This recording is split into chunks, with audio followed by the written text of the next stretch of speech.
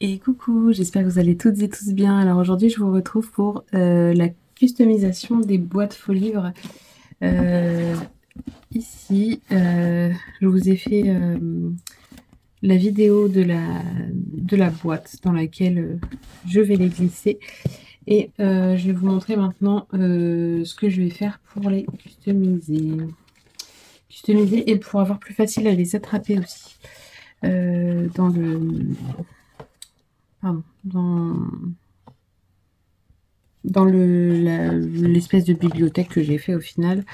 Alors, euh, j'espère juste que je vais pas galérer parce que je suis en train de me rendre compte que là c'est plat et là c'est bombé. Donc, je sais pas si ce que je veux faire, ça va aller. En fait, je veux mettre ça. Alors, j'aurais préféré les avoir en doré, mais je les ai pas en doré. Donc en fait, je veux mettre ça sur la tranche ici euh, pour les attraper plus facilement en fait.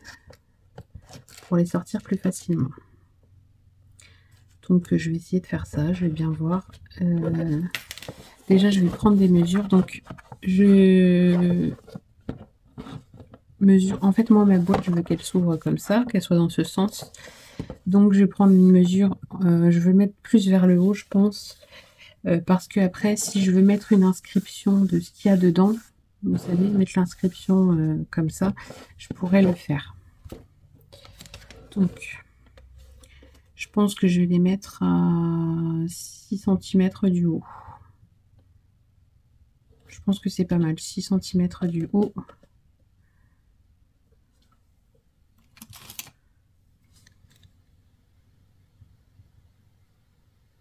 Voilà. Maintenant, il va falloir arriver à le centrer.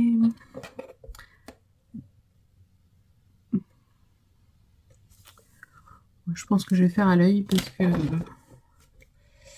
c'est pas évident euh, de mesurer sachant que c'est euh, pas plat. Donc je vais faire mon trou ici. Je vais essayer déjà de faire mon trou. Donc je vais prendre mon pic et je vais percer. J'espère que je fais pas de bêtises du coup, que ça va le faire et que ça...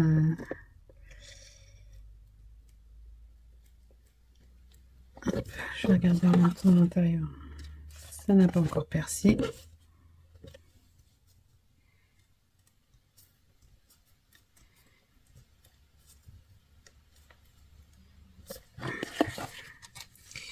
Et comme je vous dis, vu que c'est euh, bombé à l'extérieur et plat à l'intérieur, j'espère que ça va aller mon histoire.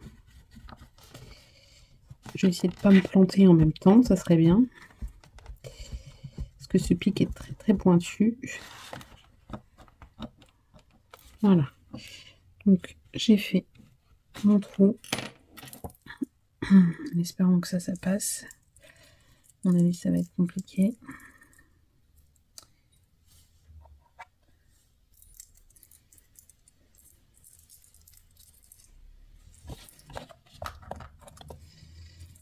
Et avec mes gros doigts, j'y arrive pas.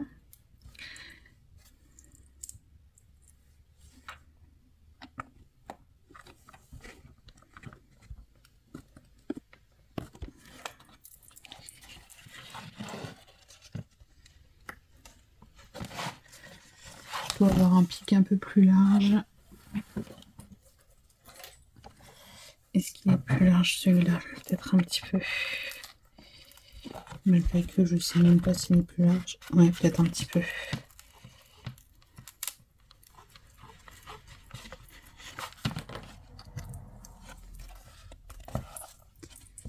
Hop.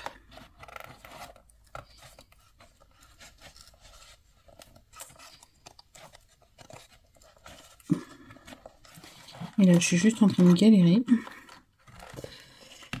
Tout va bien bien.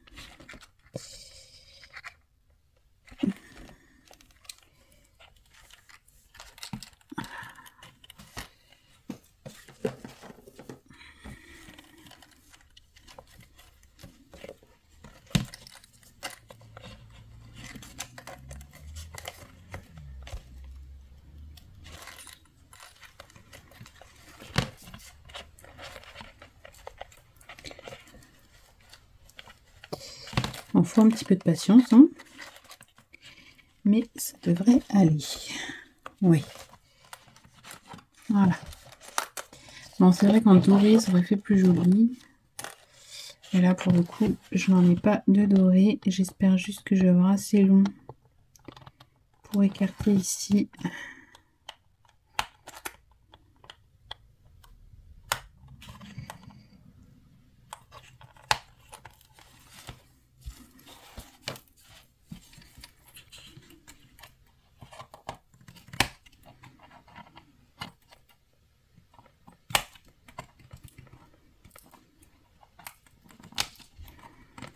Voilà.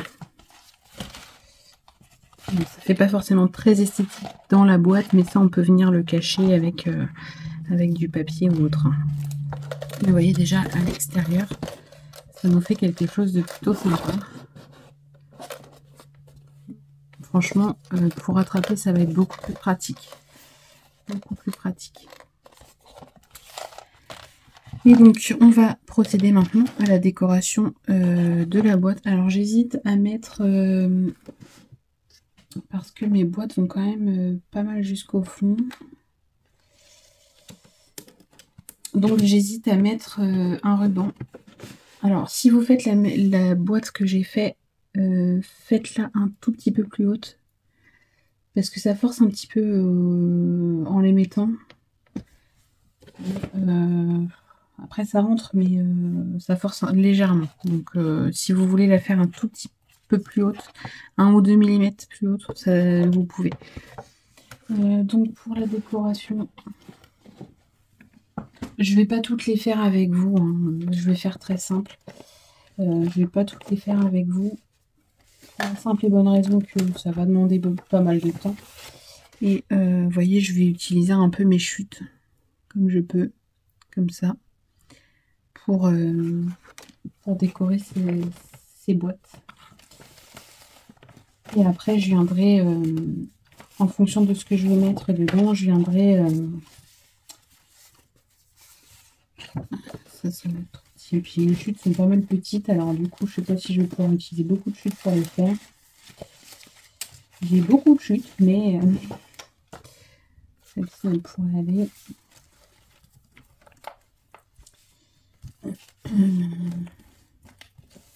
Hop, je vais regarder Alors.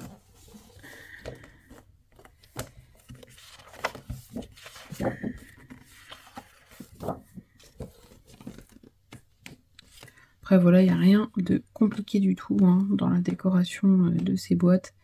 Je vais juste euh, y mettre euh, du papier design. Hein je vais commencer avec celui-ci.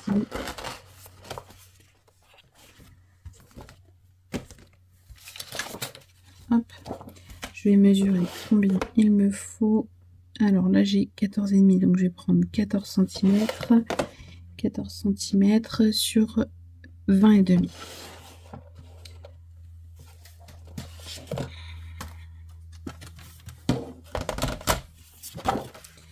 Euh, dans quel sens Il n'a pas vraiment de sens celui-là. Donc 20 et demi. Hop. Sur 14.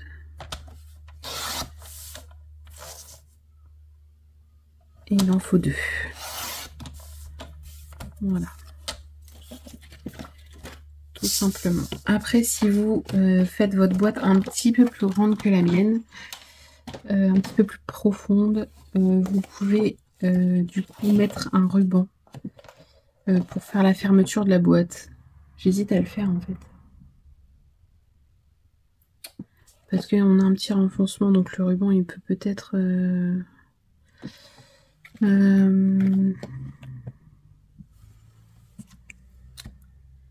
J'ai celui-ci qui est pas mal dans les tons. Allez, on va en mettre un petit.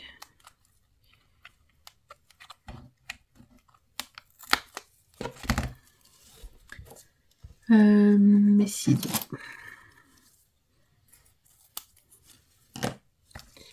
Alors là, je fais attention parce que je vois que ça m'affiche que j'ai plus que 25 minutes euh, de vidéo Sauf que j'ai supprimé des vidéos, c'est ce que je comprends pas. J'ai supprimé des vidéos et j'en ai plus beaucoup. Enfin, j'ai plus beaucoup de temps. Les sauvegardes qui doivent pas se faire au bon endroit moment.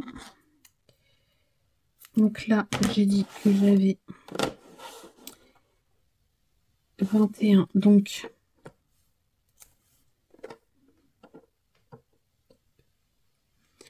à 10 et demi, je mets mon double face. Pareil de l'autre côté. Après, si vous m'avez déjà vu faire des couvertures d'albums, vous avez l'habitude. C'est comme ça que je procède pour mes fermetures d'albums. Hop. Je prends du ruban.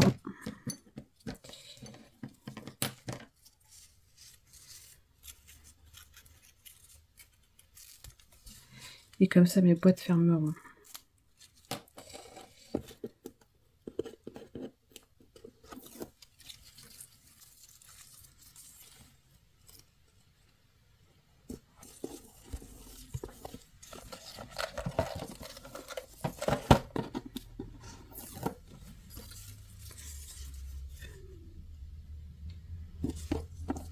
Et voilà.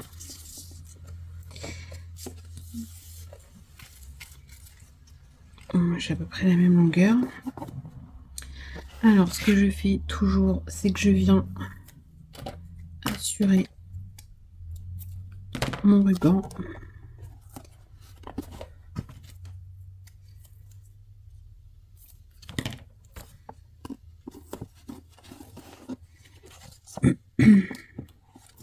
avant de coller mon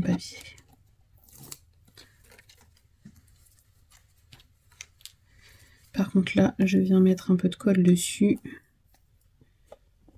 pour pouvoir euh, replacer mon, mon papier si jamais je le place, je le place pardon, pas bien dès le démarrage.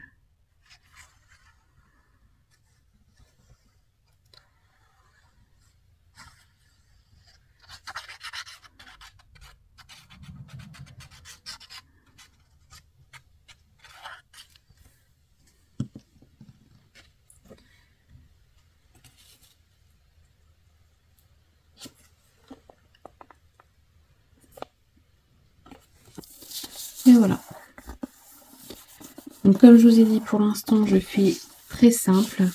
Et euh, quand je saurai ce que je vais mettre dedans, euh, je sais pas moi, euh, par exemple des fleurs ou peu importe, je viendrai me faire une étiquette, je pense, à l'ordinateur, que je viendrai coller par-dessus, ou alors avec un enfin, des dies lettres, je sais pas encore. Et pareil sur les tranches en fait sur les tranches ici, je viendrai avec euh, des tailles lettres ou autres, euh, me faire euh, me mettre les titres en fait de ce qu'il y aura dans mes boîtes, tout simplement. Voilà, pour l'instant je reste très sobre, je vous dis, pour la simple et bonne raison que je ne sais pas encore ce que je vais mettre dedans. Je verrai bien. Et ça se tombe, ça sera même pas du tout dans le scrap, je ne sais pas. Je ne sais pas encore comment je vais l'utiliser. ça se tombe, ça sera tout à fait autre chose. Donc, euh, pour l'instant, je ne le mets pas. Après, on peut aussi ranger des photos dedans, si on veut. Euh, au vu de la dimension des boîtes, euh, donc je peux aussi tout à fait mettre des thèmes de photos du genre, je sais pas moi, anniversaire Ilan, anniversaire Eva, anniversaire mode, peu importe ce que je vais mettre dedans.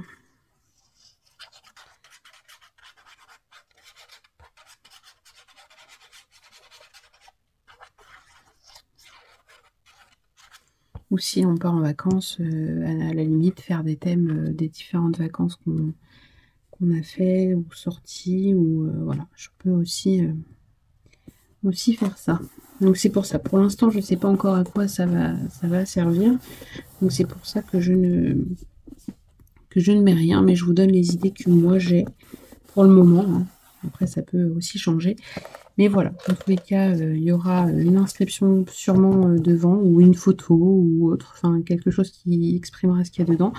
et sur le côté ici pour que je sache me, repérer plus vite en fait. Et donc je vais essayer de vous montrer une fois fermé et une fois dans la petite bibliothèque. Vous voyez, le petit nœud, il peut se mettre dans le renfoncement. Donc je pense pas que ça gêne, que ça gêne dans la petite bibliothèque. Et donc, si je l'enfile avec les autres, voilà du coup ça donne. Voilà. tous les anneaux seront placés euh, au même niveau. C'est compliqué de vous montrer. Je vais essayer, euh, je vais essayer de vous mettre en hauteur. Hop. Alors attendez. Je vais essayer de vous poser là. Voilà. Voilà du coup. Une fois posé, voilà. Une fois à place que ça donne. Euh, bon, bien sûr, ça sera mis euh, debout comme ça sur, euh, sur une étagère ou autre. Hein. Mais pour vous montrer un peu plus facilement ce que ça donne, voilà, ça donnera ça. Après, il y aura sur, comme je vous dis, des lettres ici qui exprimeront ce qu'il y a dedans. Après, vous pouvez aussi recouvrir les tranches de papier mais vu que c'est arrondi bombé, euh, je pense que euh, c'est pas l'idéal. Euh, je pense que le papier finira par se décoller. Après, vous pouvez aussi les peindre. Enfin, voilà, il y, a plein de façons de faire. Ou même en serviettage, ça peut être une idée aussi. Enfin voilà, il y a plein de, il y a plein d'idées différentes en fonction de ce qu'on aime. Et voyez, pour les attraper, du coup, c'est beaucoup plus facile. Que là, je suis un peu, un peu en galère. Je suis obligée d'en retirer un pour attraper les autres. Mais euh, voilà, du coup, avec euh, ces petits crochets, avec ces, petits, euh, petites choses-là, ça va être du coup beaucoup plus facile de les sortir sans rien abîmer. J'ai vu qu'il fallait que je recolle, mais ça, je le savais. Sinon, le reste, ça n'a pas bougé. Vous voyez, c'est resté bien collé. Je n'ai pas fait les renforts que je vous avais dit que je ferais peut-être à l'intérieur. Vous avez vu, je les ai pas fait. Euh, là, je savais que ça se décollerait pour la simple et bonne raison que j'ai forcé dessus euh, le jour où je vous l'ai montré. J'ai forcé dessus et je savais que ça se décollerait. Donc, je viendrai glisser un petit peu de colle euh, pour, pour reconsolider tout ça. Mais voilà, du coup, vous pouvez faire une fermeture avec, avec du ruban si vous le souhaitez. vous voyez, ça passe. Hein.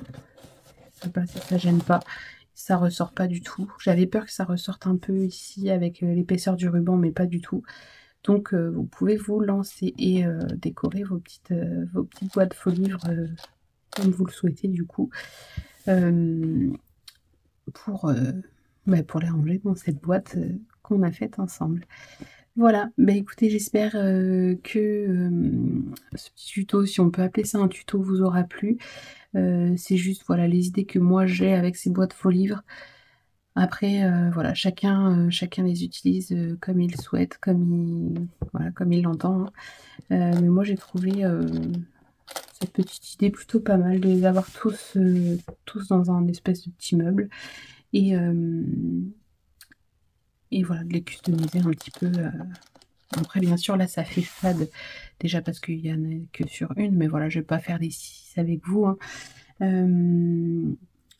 ça fait un peu fade aussi parce qu'on n'a pas encore les titres. Euh, vous voyez, les titres, euh, je pense que je les mettrai. Euh, je peux peut-être les.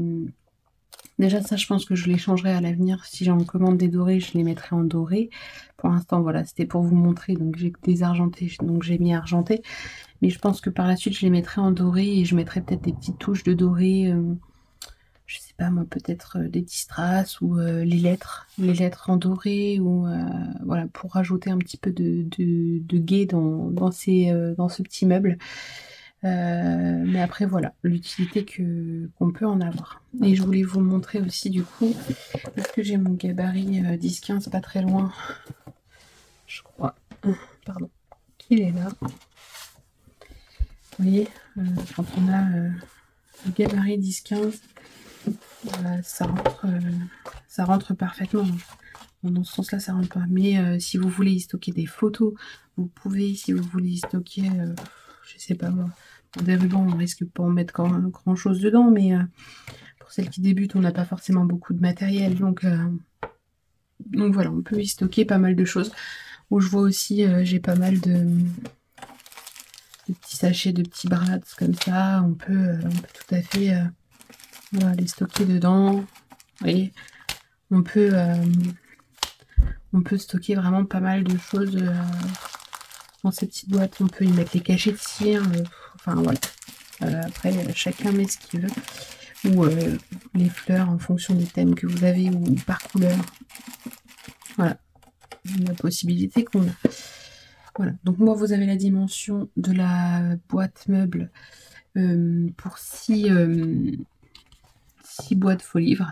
Après voilà, vous pouvez réadapter euh, les mesures en fonction du nombre de boîtes faux livres que vous avez. Voilà, c'est tout à fait faisable. Écoutez, moi je pense que je vais continuer de, faire mes petites petites décos euh, sur ces boîtes faux livres. après, je vous dis pour l'instant, il n'y a rien d'extraordinaire, mais ça viendra euh, par la suite. Peut-être que je vous, mettrai peut-être une photo euh, dans la communauté le jour où ça sera terminé. Après, je vous dis pas quand parce que je ne sais pas du tout. ça va être en fonction de ce que je vais trouver à mettre dedans et en fonction de, la disponibilité que j'ai parce que voilà, c'est pas évident. Euh, donc voilà.